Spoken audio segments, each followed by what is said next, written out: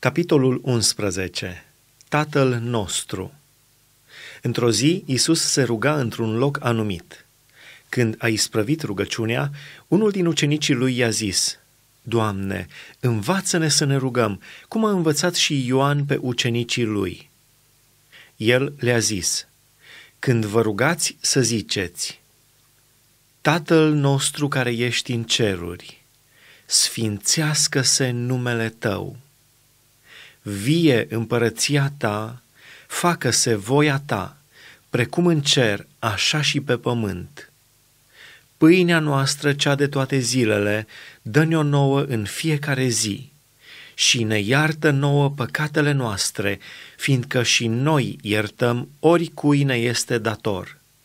Și nu ne duce în ispită, ci izbăvește-ne de cel rău. Stăruința în rugăciune – Apoi le-a mai zis, dacă unul dintre voi are un prieten și se duce la el la miezul nopții și zice, Prietene, împrumută-mi trei pâini, căci a venit la mine de pe drum un prieten al meu și n-am ce-i pune înainte.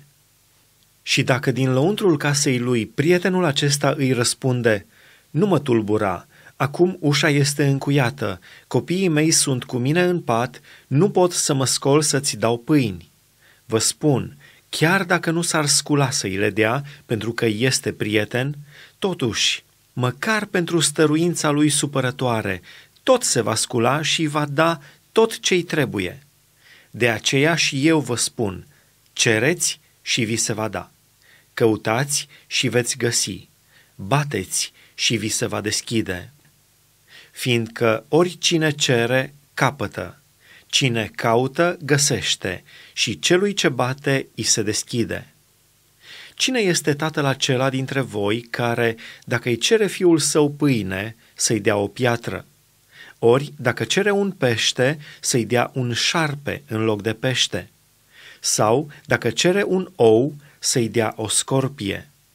Deci, dacă voi, care sunteți răi, știți să dați daruri bune copiilor voștri, cu cât mai mult Tatăl vostru cel din ceruri va da Duhul Sfânt celor ce îl cer. Vindecarea unui îndrăcit mut Isus a scos dintr-un bolnav un drac care era mut. După ce a ieșit dracul, mutul a grăit și noroadele s-au mirat. Dar unii ziceau, El scoate dracii cu Belzebul, domnul dracilor. Alții, ca să-l ispitească, îi cereau un semn din cer. Isus le-a cunoscut gândurile și le-a zis, Orice împărăție dezbinată împotriva ei este pustită și o casă dezbinată împotriva ei se prăbușește peste alta.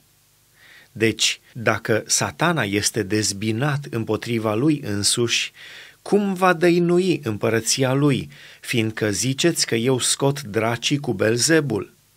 Și dacă eu scot dracii cu Belzebul, fiii voștri, cu cine îi scot? De aceea ei înșiși vor fi judecătorii voștri. Dar dacă eu scot dracii cu degetul lui Dumnezeu, împărăția lui Dumnezeu a ajuns până la voi. Când omul cel tare și bine înarmat își păzește casa, averile îi sunt la adăpost. Dar dacă vine peste el unul mai tare decât el și îl biruiește, atunci îi ia cu sila toate armele în care se încredea și împarte prăzile luate de la el. Cine nu este cu mine, este împotriva mea, și cine nu adună cu mine, risipește. Duhul necurat ieșit din om. Duhul necurat, când iese afară dintr-un om, umblă prin locuri fără apă și caută odihnă. Fiindcă nu o găsește, zice, mă voi întoarce în casa mea de unde am ieșit. Și când vine, o găsește măturată și împodobită. Atunci se duce de mai ia cu el alte șapte duhuri mai rele decât el – intră împreună în casă, se așează în ea și starea de pe urmă a omului aceluia ajunge mai rea decât cea din tâi. Ferice de cei ce ascultă cuvântul. Pe când spunea Isus aceste vorbe, o femeie din norod și-a ridicat glasul și a zis, Ferice de pântecele care te-a purtat și de țâțele pe care le-ai subt. Și el a răspuns, Ferice mai degrabă de cei ce ascultă cuvântul lui Dumnezeu și îl păzesc. Minunea cu Iona Pe când noroadele se strângeau cu grămada, el a început să spună, Neamul acesta este un neam viclean, el cere un semn, dar nu îi se va da alt semn decât semnul prorocului Iona. Căci după cum Iona a fost un semn pentru niniviteni, tot așa și fiul omului va fi un semn pentru neamul acesta. Împărăteasa de la miază zi se va scula în ziua judecății alături de bărbații acestui neam și va osândi pentru că ea a venit de la capătul pământului ca să audă înțelepciunea lui Solomon. Și iată că aici este unul mai mare decât Solomon. Bărbații din Ninive se vor scula în ziua judecății alături de neamul acesta și îl vor osândi, pentru că ei s-au pocăit la propovăduirea lui Iona. Și iată că aici este unul mai mare decât Iona. Lumina Nimeni n-aprinde o lumină ca să o pună într-un loc ascuns sau sub baniță, ci o pune într-un sfeșnic pentru ca cei ce intră să vadă lumina. Ochiul este lumina trupului tău. Dacă ochiul tău este sănătos, tot trupul tău este plin de lumină. Dar dacă ochiul tău este rău, trupul tău este plin de întuneric. Ia seama, dar, ca lumina care este în tine să nu fie întuneric. Așa că, dacă tot trupul tău este plin de lumină, fără să aibă vreo parte întunecată, va fi în totul plin de lumină, întocmai ca atunci când te-ar lumina o lampă cu lumina ei mare. Mustrarea cărturarilor și fariseilor Pe când vorbea Isus, un fariseu l-a rugat să prânzească la el – el a intrat și a șezut la masă. Fariseul a văzut cu mirare că Isus nu se spălase înainte de prânz.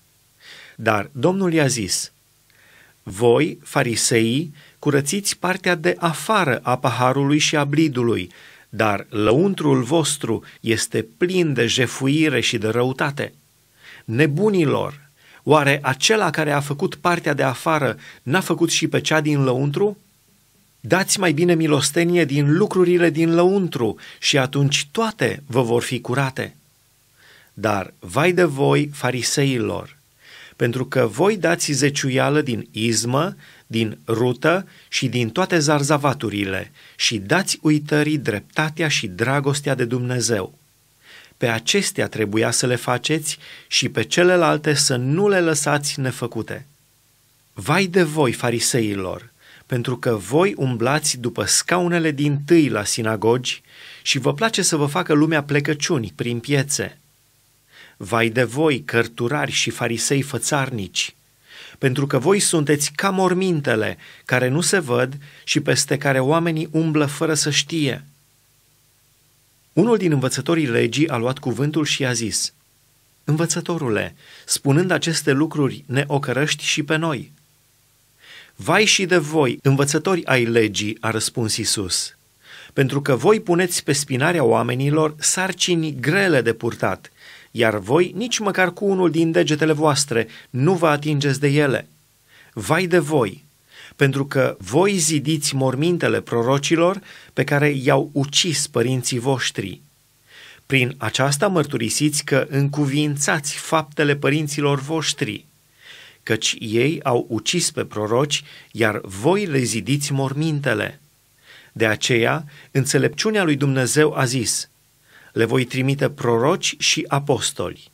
Pe unii din ei îi vor ucide, iar pe alții îi vor prigoni, ca să se ceară de la acest neam sângele tuturor prorocilor care a fost vărsat de la întemeierea lumii, de la sângele lui Abel până la sângele lui Zaharia, ucis între altar și templu. Da, vă spun, se va cere de la neamul acesta.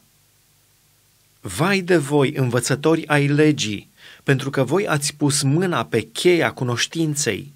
Nici voi n-ați intrat, iar pe cei ce voiau să intre, i-ați împiedicat să intre. După ce a ieșit de acolo, cărturarii și farisei au început să-l pună la strâmtoare și să-l facă să vorbească despre multe lucruri. I-au întins astfel lațuri ca să prindă vreo vorbă din gura lui pentru care să-l poată învinui.